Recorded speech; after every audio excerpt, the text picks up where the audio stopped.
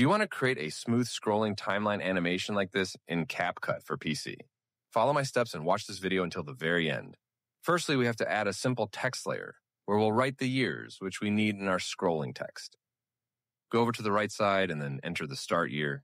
I'll start with the 1900s just as an example for this video, but you enter the year which you need.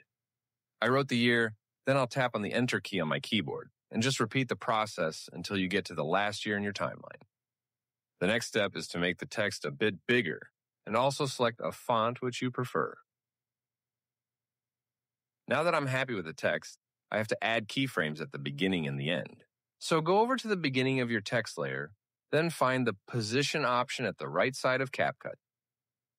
And then click on the little diamond icon in order to add the keyframe. After this step, we're going to drag the start year in the center of the frame, which is the year 1900 in my example. After that, go over to the end of the text layer and then move this layer until you get to the ending year, which is 2025 for me. So now I've added the keyframes at the start and the end. Now follow my steps very carefully.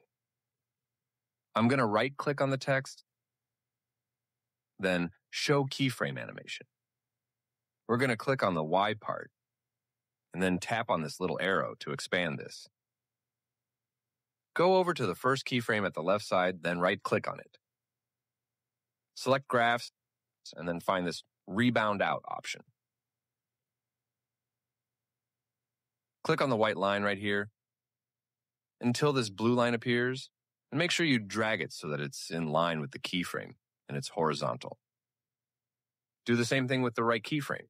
Drag the blue line from the right side all the way to the left and make sure it's in line with the right keyframe. Also put the two blue lines so that they're right above one another, just like I did right here. Let's check how this turned out.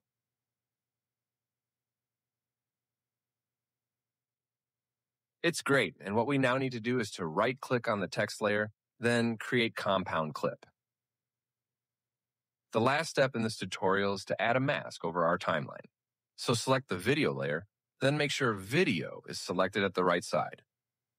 Select mask, then rectangle, and put the mask over the first year. We also have to set the value of this feather option to somewhere between 15 and 25, whichever looks best for you. Let's see our finished result. That's it for this video, everyone. Thank you so much for watching, and I will see you soon.